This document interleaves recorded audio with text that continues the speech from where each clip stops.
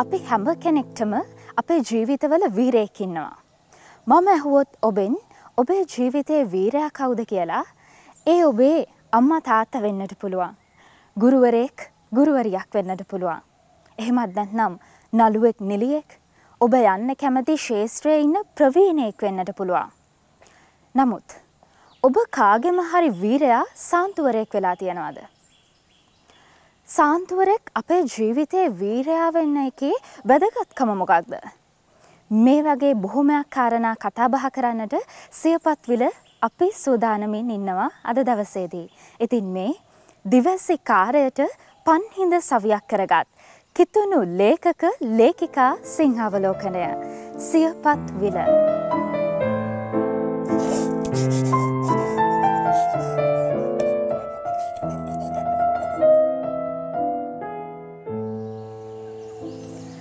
මම කලින් කතා කරා වගේ සාන්තුවරු ගැන කතා බහ කරන්නට හොඳම පුද්ගලයෙක් අද අපි අපේ වැඩසටහනට එක්කාසු කරගත්තා.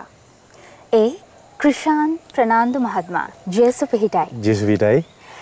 අපි ඒ කතාව පැත්තකින් තියලා ඔබේ කුඩා කාලය ගැන මතක අවදි කරලම අපේ කතා බහ ඉදිරියට කරගෙන යමු.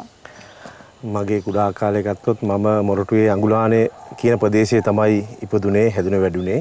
එතකොට මට ඉන්නවා අම්මයි තාත්තයි නංගි අක්කයි මල්ලි අපි හතර දෙනෙක් පවුලේ. ඉතින් ඒ පවුලේ තියෙන ආදරෙත් එක්ක තමයි අපි හැදුන වැඩුනේ. අඟුලාන ශුද්ධ ෆ්‍රැන්සිස් සේවියර් දේවස්ථානයට තමයි පොඩි කාලේ ඉඳලා ගියේ. වැඩ කටයුතු කරේ දහම් පාසලේ පූජා උදව් සමිතියේ ශිෂ්‍යනායක සමිතියේ මේ හැම දෙයක්ම කරේ පල්ලියත් එක්ක. ඉතින් ඒකට මට පොඩි කාලේ ඉඳලා ආభాසය හම්බුනේ මගේ සීයගෙන්. ඉතින් සීය තමයි පොඩි කාලේ ඉඳලා මට ම දේවස්ථානයට රැගෙන ගිහිල්ලා මාව ජේසුර ගොඩක් ලං කරපු චරිතයක් තමයි මගේ සීයා. ඔබේ මීසම ගැන මතක් කළොත් මේ පියතුමන්ලගෙන් ලැබුණු සහයෝගය කන්‍යා සෝරියන්ගෙන් ලැබුණු සහයෝගය මේ දේවල් ගැන මතක් කරොත් එතකොට මම අයිති මීසම රාවතවත්ත මොරටු රාවතවත්ත මීසමේ තමයි මම හිටියේ. එතකොට මට ගොඩක් ඒ කාලේ පාද ටිරෝන් පෙරේරා පීතුමාගෙන් මට ගොඩක් සහයෝගයක් මට හම්බුණා. එතකොට මම එතක් ඉඳලා පීතුමල්ලා කන්‍යාසන විශාල පිරිසකගේ සහයෝගය මට හම්බුණා. ඊට පස්සේ මම විවාහ වෙලා දැන් ඉන්නේ විජේ කටුපත අගුණවිල මිසම විජේ කටුපත. ඉතින් එහි ඉන්න අපේ මොලිස් සැන්ඩර්සන් පීතුමාගෙන් ගොඩාක් ලොකු සහයෝගයක් මට හම්බ වෙනවා. මම මේ දේවස්ථානයේ තමයි මේ වෙද්දි පදිංචි වෙලා ඉන්නේ. ඔබ විවාහය ගැන මතක් කරපුහම ඔබේ බිරිඳ දරුවෝ ගැන මතක් නොකර කොහොමද? ඉතින් ඒ ගැන වචනයක් සඳහන් කළොත්. ඒතර මගේ බිරිඳ දිලින් ලක්ෂිකා. එතකොට මට දුවෙක් ඉන්නවා. එයාගේ නම මරීනා කිසරි. ඉතින් නර්සරි තමයි යන්නේ. ලබන අවුරුද්ද ඉස්කෝලේ යාමට බලාපොරොත්තු වෙමින් සිටිනවා. ඔබේ ජීවිතය ඉදිරියට අරගෙන යන්නට ඔබේ බිරිඳගෙන් ලැබෙන සහයෝගය කොයි වගේද? මගේ බිරිඳගෙන් ඇත්තටම ලොකු සහයෝගයක් හම් වෙනවා. මට එයා නිදහස දීලා තියෙනවා. ඉතින් මම අර පුබුදුවේ ගොඩක් වැඩ කටයුතු කරනවා. ඉතින් මට ලේඛන කලාවට ලියන්න කියන්න ගොඩාක් එයා මාව නිදහස් කරලා තියෙනවා. සමහර ඒවා ගෙදර වැඩ මට කියන්නෙම නැතුව එයා කරනවා මට මෙතනට එන්න ඕන නිසා මේ දේවල් වලට යන්න ඕන නිසා එයා ලොකු සහයෝගයක් මට කියන්න වචන නැහැ. එයා මට දෙන සහයෝගය.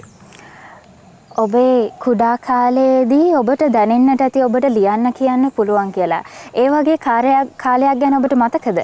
මට මතකයි ඉස්කෝලේ මම ගියේ අඟුලාන පුදුජය විද්‍යාලෙට මට ඕකේ මතකයි අපේ සිංහල සාහිත්‍ය උත්සවය කියලා එකක් තිබ්බා. ඒකේ පොඩි කාලේ 6 7 වසර වගේ එද්දි ඔය රචනා, නිවේදන, ඒවා මේ සින්දු ලියන්න පොඩි මේකක් තිබ්බා. ඉතින් මට මතකයි ඒකට මම ලිව්වා. ලියලා මම ඒකෙන් තෙවෙනි ස්ථානේ වුණා. ඉතින් ඒකෙන් තමයි මම හුරුවක් ඇති වුණේ ලියන්න, කියන්න දේවල් වලට හුරුවක් ඇති වුණා. ඒ වගේම ඥානප්‍රදීප පත්තරේ. ගොඩක් අපේ සීයා තමයි පත්තරේ ගේන්නේ. ඒකෙන් තමයි ගොඩාක් මට හුරුවක් ඇති වුණේ ප්‍රදීපේට ලියවීම තමයි මගේ මේ තිමිරි ගෙවුනේ මේ ගමන යන්න මට ඉදිරියට යන්න. ඔව්. ඔබත් එක්ක තවත් බොහෝම කරුණු කතා බහ කරන්නට අපි සූදානම් වෙලා ඉන්නවා. මේ දිවැසි කාර්යයට පන්හිඳ සවියක් කරගත් කිතුණු ලේඛක ලේඛිකා සිංහවලෝකනය සියපත් විල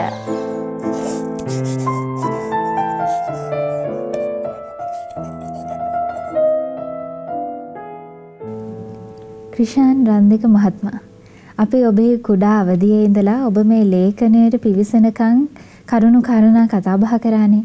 ඉතින් දැන් අපි සූදානම් වෙන්නේ ඔබ ලේඛකයෙක් විදිහට ලියපු ග්‍රන්ථය ගැන කතා බහ කරන්නට. අපේ කාලයේ තරුණෙක් අපේ කාලේ තරුණේ අපේ කාලේ අපේම භාග්‍යවරයෙකු ගැන පොතක් ලියනවා. කාලෝ අකෝතිස්තුමා. මේ ගැන කතා කරොත්?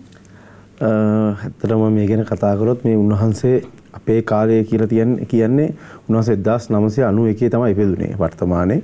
ඒකට මට මේ උන්වහන්සේ ගැන වීඩියෝ ක්ලිප් එකක් හම්බුණා වස්සප් පරහා ඒ කාලේ. ඉතින් මම මේකත් එක්ක බැලුවා. ඒක ඉංග්‍රීසි වලින් තිබ්බේ.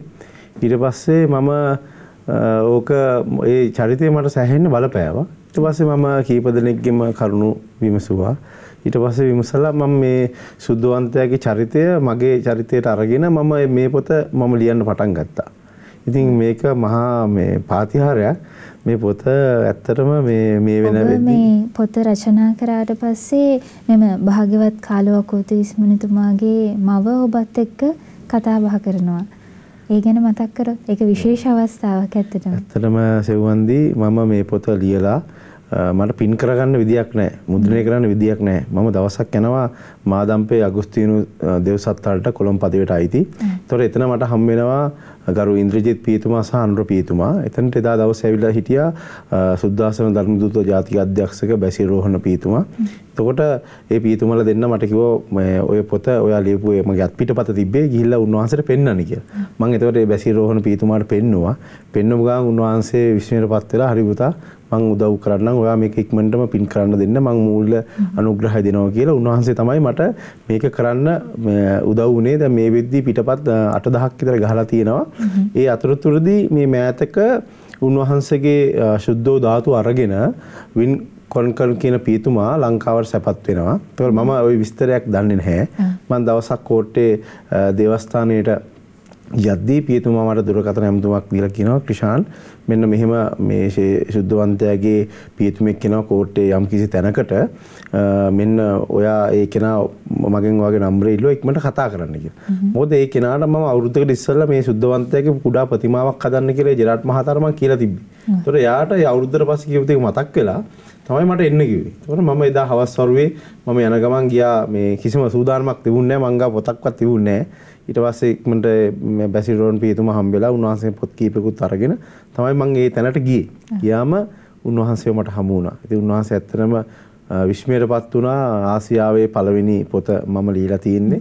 එතකොට ඒ එකම ඒ භාග්‍යවන්ත කාලෝ අකුදිය සුද්ධවන්තයාගේ මෑණියන් එක්ක පැය භාගයක් විතර කතා කරා. සූම් තාක්ෂණය ඔස්සේ ඒක මගේ ජීවිතේ ලැබෙන ලොකුම භාග්යක් සුද්ධවන්තයෙක් මෑතියුගේ සුද්ධවන්තයෙක් වෙන්න ඉන්න කෙනෙක්ගේ මවක් එක්ක කතා කිරීම ලොකු භාගයක් වලට කර මම සලකන මගේ ජීවිතේ.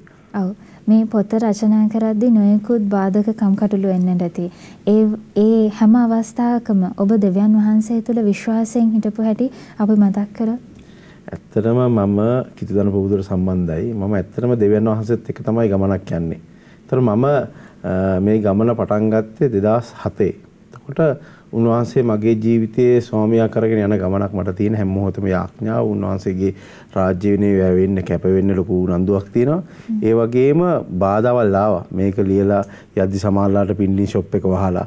එතකොට ගේන්න යද්දි වාහන තිබුණේ නැහැ. ඒ වගේ ලොකු බාධා ආවා. හැබැයි දෙවියන් වහන්සේ මාත් එක්ක ඉඳිමින් මේ හැම දෙයක්ම කරන්න මට උදව් වුණා. මේකේ තිරේ පිටුපස මට ගොඩක් උදව් වුණා. මේක ලියන්න මාව මේව කරන්න ඔක පෙරවදනත් පිට තිරේ පිටවස කතාව ලියලා තිනවා විශේෂයෙන්ම මතක් කරනවා ශිරාන් මෛත්‍රී මහත්තයා. ඉතින් ඇත්තටම එයා සෑහෙන්න මට සපෝට් එකක් දුන්නා. තිරේ පිටුවස් ඉඳලා මේක කරන්න ලොකු ශක්තියක් එයා වුණා. ඒ වගේම මේක ලියන අතරතුර මගේ වයිෆ් ඉස්පිතාලේ හිටියේ. දරුවා හම්බෙන්න. ඉතින් ඒ වගේ බාධා කම්කටොළුත් එක්ක තමයි මේ ලිව්වේ. හැබැයි ලොකු සතුටක් දැනෙනවා. දේවනාංශේ මාත් එක්ක ඉඳලා මේ හැමදේම උන්වහන්සේ මට කරන්න උදව් වුණා. උන්වහන්සේ තුළ යන ගමනේ අපිට මොනවද මග හැරෙන්නේ? උන්වහන්සේට මෙච්චර ආදරේ ඔබ ඔබට වැඩිපුරම උන්වහන්සේව දැනිච්ච ගීතිකාවක් ඇති. ඒක මතක් කරොත් මට ඇත්තටම ගොඩාක්ම දැනෙන ගීතිකාවක් තමයි කැමති ලෙසින් අඹුණු මැනවීම. ඒ ගීතිකාව මගේ ජීවිතේට මේ මට ඒ ඇහිච්ච දා ඉඳලා මගේ ජීවිතේ කරගත්තා. ඒක ලස්සන තනුවක් ලස්සන දෙබස්. ඒක විශේෂයෙන් මටම කියනා වගේ එක තැනක තියෙනවා. සිවන්දි අර මිනිස් දුබලකම නිසාම වේදනා දැනේ. නමුත් සමිදේ අමන්නම ඔබ කැමති ලෙස්සේ. ඒතර උන්වහන්සේ අපි අමනෝ. තාමත් උන්වහන්සේ ලේඛන දිවිය තුල තව එක එක පිරිසගේ තුල අපි ඒගොල්ලන්ගේ දැනුමිකමත් එක්ක අපි අමන උන්වහන්සේ අමගමින් යන ගමනක් තමයි මේ තියෙනවා කිව්වා වගේ දුක වේදනාව දැනෙනවා. දැනුණත් උන්වහන්සේත් එක්ක ගමනක් යන ගීතිකාව ගොඩක් මගේ ජීවිතේට බලපාපු ගීතිකාව මම ගොඩක් ආදරය කරනවා. ප්‍රේක්ෂකයනි ඔබ මොහොතක් සිතන්න ඔබව අඹන්නට උන්වහන්සේගේ අතට ඔබ ඔබ බාර දීලාද තියෙන්නේ කියලා. මේ කැමති ලෙසින් අඹනු මැනවේ.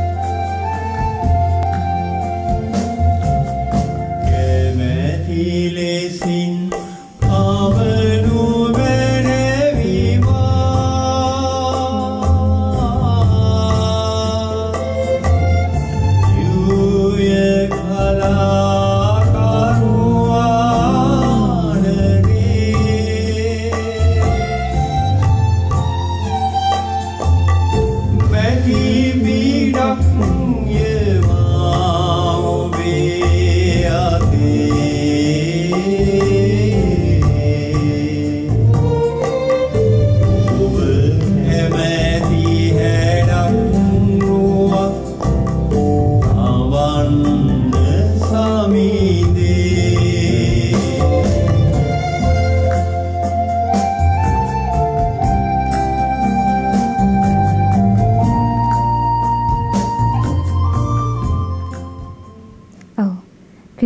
මහත්මා මේ ඔබේ ජීවිතයේ ඔබ දෙවියන් වහන්සේ මේ විදිහට අත්දකිද්දී ඔබ ලේඛන කලාවට අමතර වෙනත් මේ දේවල් සමාජයට අරගෙන යන්නට නියැලිලා ඉන්න ශේත්‍ර තියනවාද? ඒ ගැන මතක් කරොත්. ඇත්තටම මගේ තියෙන ලොකුම ශේෂ්ත්‍රය තමයි මේ ජේසුව අන් අයට දෙන්න. එතරම් ජේසුව නොදකින ජනතාවට ජේසුව නොදකින විශ්වාස කර ජනතාවට ජේසුව අරන් යන්නට ලොකු පිපාසයක් ලොකු උනන්දුවක් තියෙනවා. කුසට ආහාරයක්වත් දැනෙන්නේ නැහැ. ජේසු ගැන මිනිසුන්ට කියන්න පුළුවන් නම් ජේසු ගැන ගම්වලට ගිහලා ජේසු ගැන කතා කරන්න පුළුවන්. ඒක තමයි මම ගොඩාක්ම මගේ තියෙන ලොකුම පිපාසය. ඒ වගේ විශේෂයෙන්ම තරුණ තරුණයන්ට ජේසු ගැන. අද ජේසුගෙන් ඈත් වෙලානේ ෆෝන් එකට නේ. එතකොට අන්තර්ජාලයට අද කොටු වෙච්ච රාමුවක් තියෙන අපේ දරුවෝ. ඉතින් ගොඩක්ම ඒ තරුණ තරුණියන්ට ජේසු ගැන තුලත් භාග්‍යවරයෙක් වෙච්ච පුද්ගලයෙක් ගැනයි ඔබ කතා කරන්නේ. ඔව්. එතකොට සෙවන්දි ඔහු ඒ ඒ තාක්ෂණය තුලත් ජේසුගේ ආදරය ඔහු අත්දැක්කා. ඒතර කාලෝ අකුසියස්තුමා ඒ අන්තර්ජාලය තුළ ඔහු විවිධ වෙබ්සයිට් හදලා දිව සප්සාත පාතිහාරෝ එකතු කරලා ඔහු ඒ වෙබ්සයිට් හරහා ලෝකින්න ජනතාව ඔක්කොටම ඔහු බෙදා හැරියා. ඔහු ඒ අන්තර්ජාලය ඔහු භාවිතා කරේ දේව රාජ්‍ය දෙවනාසගේ රාජ්‍ය ගොඩනගන්න. එතකොට අද අපේ තරුණ තරුණියෝ යොමු වෙලා ඉන්නේ දෙවනාසගේ රාජ්‍ය ගොඩනගන්න. ප්‍රශ්නයක් තියෙනවා. ඇත්තටම අපි හැමෝටම උන්වහන්සේ ලොකු අභියෝගයක් කරනවා. එවැනි තරුණ ප්‍රජාවට ඔබ දෙන පණිවිඩය මොකද්ද? මම ඇත්තටම මේක බලන මේක බලන සියපත් විල බලන හැම හැම කෙනෙක්ටම කියන්නේ අපි හැමෝ ගාමම ෆෝන් එකක් තියෙනවා.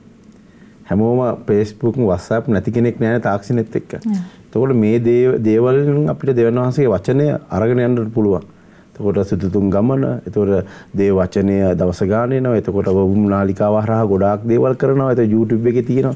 එතකොට මේවා අපි ෂෙයා කරනවා. දන්න අයට බලන්න. අපි මොනවද ෂෙයා කරන්නේ? නේ ගොඩාක් අපිට විනෝදකාමී රසස්කාමී දේවල් අපි යන්නේ. එතකොට අපේ වැඩසටහන්, එතකොට මේකේ වැඩසටහන්, අපේ දේව වචනේ වැඩසටහන්, එතකොට දෙවියන් වහන්සේ ගැන කියන දේවල් අපි කරනවද? අපි යවනවද මිනිස්සු අතරට?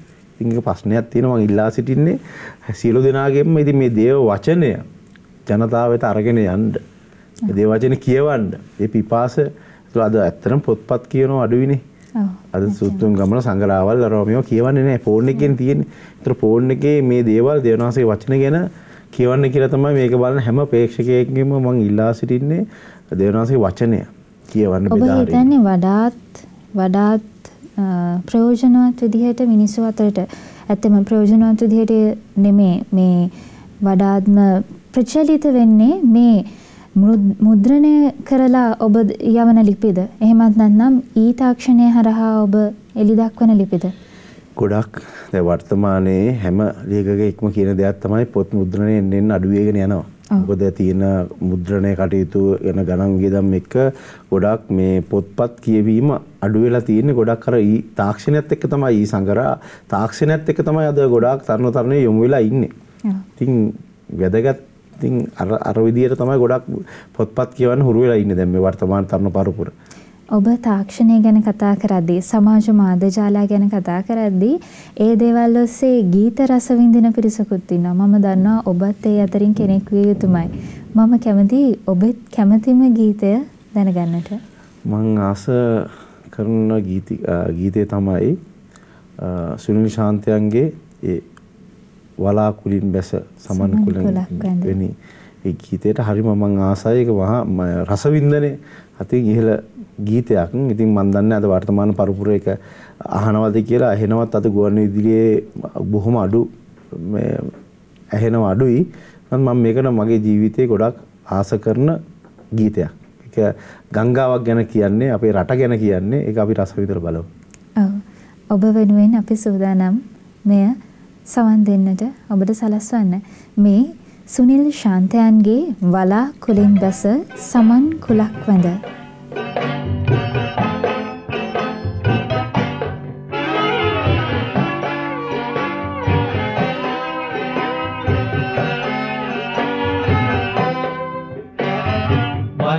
කුලින් බැස සමන් කුලක් වැඳ. එළෝ බලා යනවා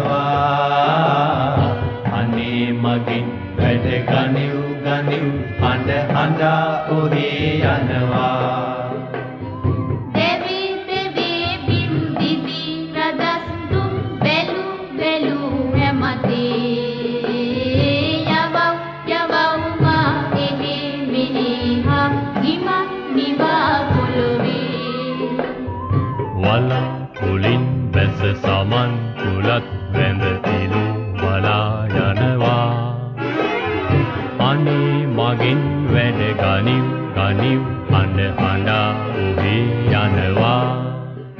ක්‍රිෂාන් මහත්මයා ඔබේ අනාගත බලාපොරොත්තු මොන වගේද? මේ ලේඛන කලාව තුලත් ඔබේ ශාස්ත්‍රය තුල ඇත්තටම ලොකු බලාපොරොත්තු තියෙනවා තව පොත් කීපයක් ලියන්න. ඉතින් වර්තමානයේ මම මේ වෙලාවේ ස්තුතිවන්ත වෙනවා. මේ බොහෝ දෙනෙක් ඉන්නවා මට මේ ලේඛන දිවියට උදව් වෙච්ච. මං කිව්වා වගේ අර අපේ වර්තමාන ඥානප්‍රදීපේ සභාපතිතුමා මැක්සිමස් රොයි පෙරේරා මහතා. ඒතර ඒ වගේම මට අපේ මිසම්බාර පියතුමා. කොට ගොඩාක් පිරිස ඉන්නවා මට ඇත්තටම මාව මට උදව් වෙන්න මේ ලේඛන කලාව ඉදිරියට ගෙනියන්න. ඉතින් මම මේ වෙද්දිත් පොතක් ලියන්න පටන් ගන්න තිනවා. තම එකට නමක් මම දාලා නැහැ. ඉතින් මම බලාපොරොත්තු වෙනවා ඉදිරියටත් මේක ඇත්තටම මේ මේක පුදුමාකාර මේ මට දෙවනාංශ දීලා තියෙන දේක් තමයි ලියන්න. ඉතින් මම හැම තලින්තුවක්. ඉතින් මම හැමතිස්සෙම ලියන මේ පොතේත් මම පිටිපස්සේ සඳහන් කරලා තියෙනවා ගීතිකා ගීත කීපයක්ම. ඉතින් මම ඉන්න වෙලාවට දෙවනාංශත් එක්ක දැහැම් ගත වෙනාට ලියපුවා. ඉතින් ඉදිරියේ ලොකු බලාපොරොත්තුවක් තියෙනවා. තව පොත් කීපයක් ජනතාව අතරට පත් කරන්න ලොකු ආසාවක් තියෙනවා. ඉතින් මේක තමයි මගේ එකම ආසාව ඉදිරියට තව කරන්න. ඒ සිතුම් පැතුම් ඒ ආකාරයෙන්ම ඉෂ්ට වෙන්නට අපි වර්බුම් නාලිකාවේ අපි ප්‍රාර්ථනා කරනවා. ඉතින් බොහොමත්ම ස්තුතියි ඔබේ වටිනා කාලය මිඩංගු කරගෙන අද අපේ වැඩසටහනට පැමිණියට. මේ දිවසිවර කාර්යයට පන්හිඳ සවියක් කරගත් කිතුණු ලේඛක ලේඛිකා සිංහවලෝකනය සියපත්විල